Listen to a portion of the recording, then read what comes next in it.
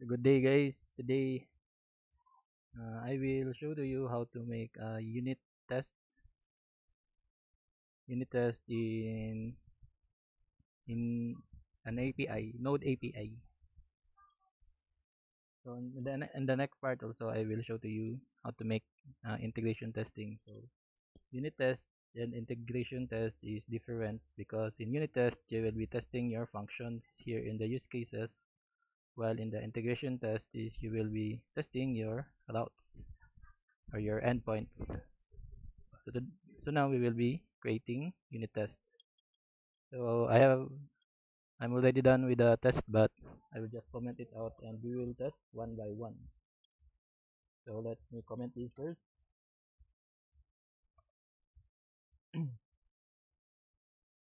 First we will be making our uh, by the way uh, we will be using just just uh, package in this testing.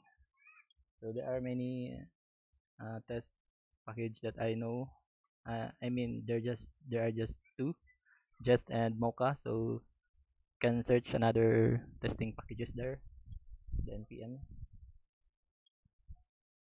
so first this is our test suites so if you have many use cases like say employees, customers, suppliers, so each have different files here. So different test suites. The first is uh, but before that uh, I I made the uh, uh, you call this a separate database for testing.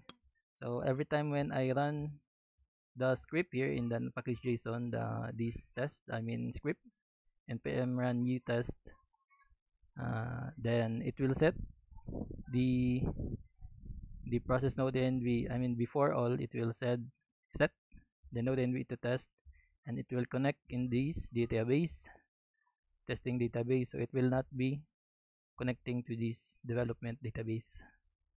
So also in the connection this is the for the sequelize which I uh, made a tutorial in the clean architecture.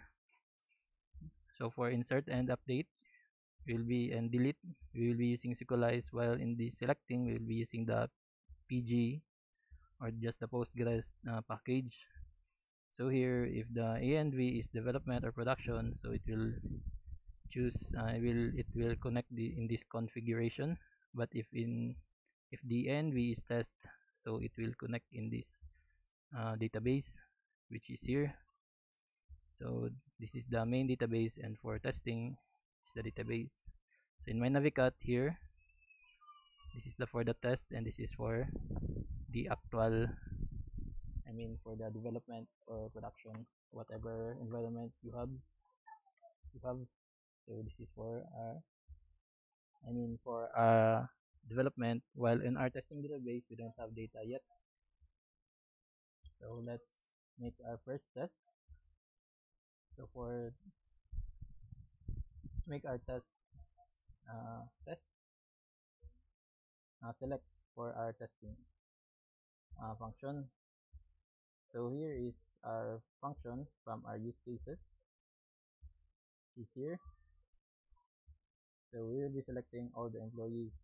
So the rest must be to be defined. It must not be undefined. So let's just control the rest so we can know what is the result. Okay, uh, utest. So npm run utest is our script here in our package json here. So let's run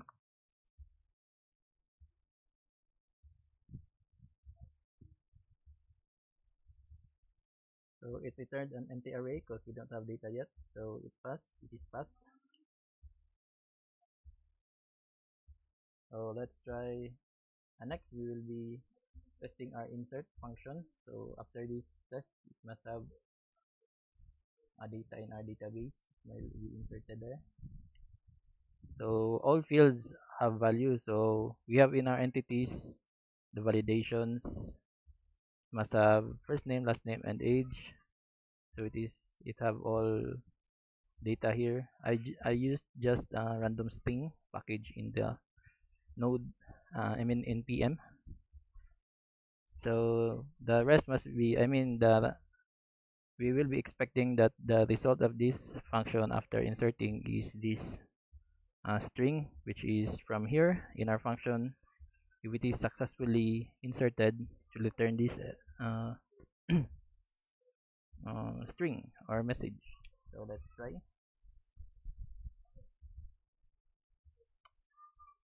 So this object is what we will be inserting. So it is successful all fields. So we may check our in our database. So there it inserted uh, the next uh, test is what if there are missing fields? For example is this part.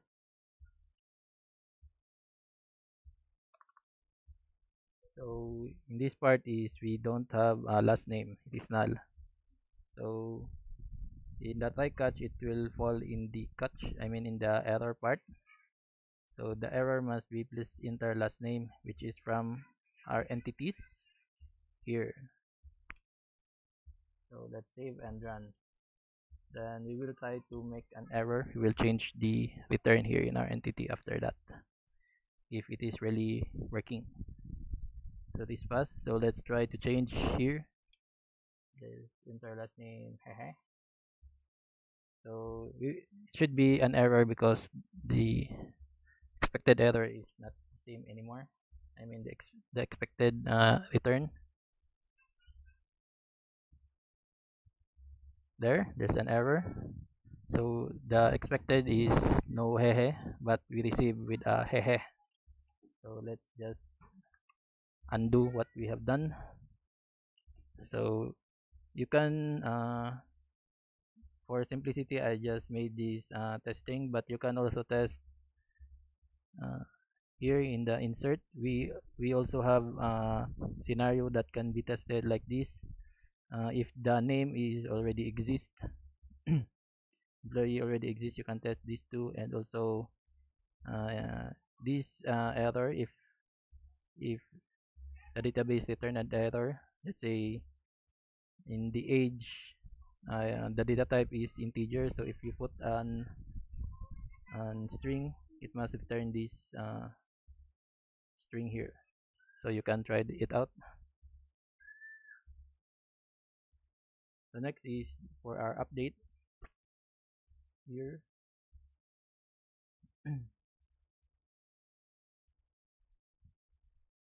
So for our update is first is we select an employee.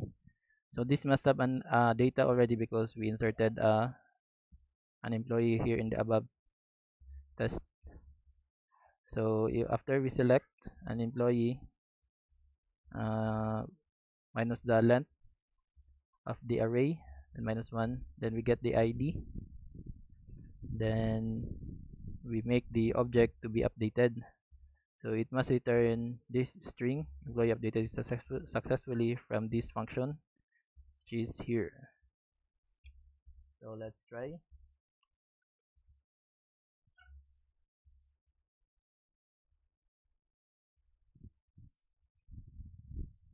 so we, it is passed. So let's make this an error. So by changing the string from put a haha it must be an error because it's not it is not the same anymore. So there. But it is passed because it fall we must expect it in the catch part if it is an error but you can or you can just see it in the logs so it is an error. Just undo. So all errors is you must expect in the catch part in the catch block of code. Like in the next test is if there are required uh, required fields which are missing. Like so just the same uh, select an employee then we don't have a first name here. So it, it falls into the block here in the error part which we must expect uh, please enter first name from our uh, entity here here. So let's try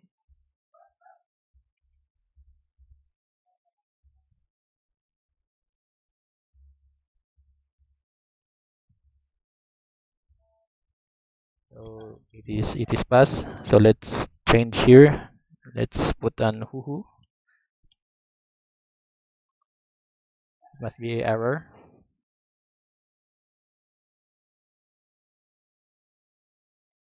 There there's an error because it's not the same. Undo. So lastly is the delete test so all these function came from our use cases. Here it's just all these function. Oh I forgot to show the database. So here's the database already. So if you see an 8 age so it is insert then if it is already 9 meaning it is from uh, update already. So it is working. So lastly is the delete so select an employee then pass the id to delete. So it will just return this string from this uh, function here here. So it is passed. So let's just change the string here. So it must be error. Because it's not the same anymore. But it will just console log because it must be here. Here example like that so that's all for the unit test. So in the next part i will show to you the integration testing. Uh, by the way i will just push this in the repository so you can have a look there. That's all guys. Thank you